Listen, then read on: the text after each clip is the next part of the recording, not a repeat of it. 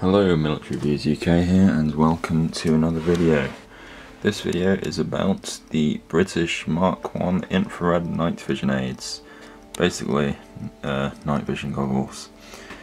Right, so these are very early uh, night vision devices. Uh, not the first, but um, uh, I think they're from around the 60s, 70s, 80s, more likely 70s. Uh, and as you can see they are used in conjunction with a Mark 4 or 5 steel helmet. Uh, they attach to the helmet uh, with some clips on the front and back. Let's see if I can get a shot of that. You can see the clip there. I'll get one from around the back. Uh, yeah, that's a lot better. You can see it clipping on there. Um, the goggles flip up and down, which I'll show soon. Um, and using this uh, this twists, you can bring them forwards, back, and up and down to adjust them correctly for the wearer. Um, on the back, you have the battery pack and power switch. You can see the battery, the power switch there. There's no battery in, so I'm going to just, it's off at the moment. Just going to flick it on. The switch just flicks forwards and it turns on. Let's do that to turn it off. And it is powered by a, uh, can't remember what it is, but it's an everyday uh, battery you can get. It's like the big ones, uh, can't remember what they're called, D cells. I've got in my head for some reason. Um, and these can, these aren't sized or anything, they can be put on any helmet. Uh, any size helmet. You can see the uh, elastic inside the uh, the screen fabric bit, which allows it to stretch over the helmet. Um, these are in working order, um, but only one of the uh, intensifier tubes is present and I highly doubt I'll be able to find a second one or even replace the one that's already there because uh, that one's a bit broken. I think it got exposed to uh, sunlight or something. Yeah, these weren't used in uh, combat at all uh, because as you can see they are quite heavy and cumbersome and they uh, they need a uh, infrared light source to uh, operate.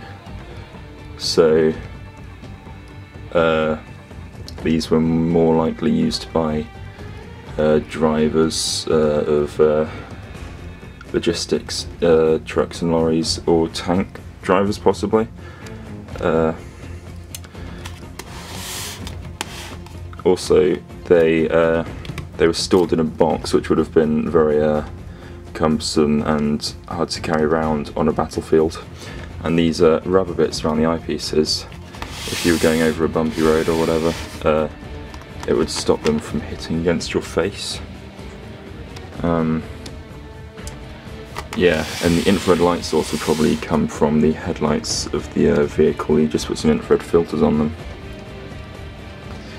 These are pretty heavy to wear, especially with the helmet as well so that would also not be particularly good on a frontline battlefield. Um, I'm not sure when mine are dated specifically because uh, mine didn't come with the box and I think the date is on the box. Um, so now I will attempt to show you the uh, flipping up and down action of the goggles. Just place the camera on the tripod. Right. So this is the uh, flipping action obviously if you weren't using them you would just flip them up like that so you can see normally. And from this angle you can sort of see the um, inside of the eyepieces. Like they're just made out of glass I guess. Um, and I can remove these things and give you an inside look of the goggle.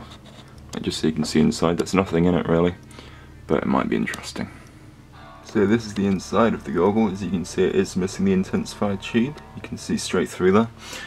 And uh, this is the eyepiece with the rubber attachment. You can see the uh, glass uh, magnifier thing and some sort of spring there. And then this piece of plastic which just came out. I assume it's some sort of casing for the uh, intensifier tube. Um, that's pretty much all the info I have about this piece. Uh, sorry there wasn't a lot of information in there, uh, but this seems to be quite a rare piece and there wasn't really much information about it out there. Uh, and what I did find on the internet I already knew, um, like from finding out before, or just um, common sense. Like, for example, the squishy eye bits for stopping it hitting against your face. Uh, but yeah, if you know anything about this piece that I didn't mention in this video, please uh, leave it in the comments because uh, it's always good to learn more about pieces I already have. In fact, do that on any of my videos. Uh,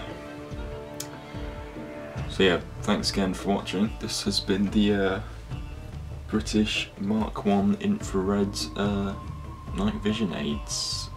Uh, yeah, again, thanks for watching. I'll see you in the next video. Goodbye.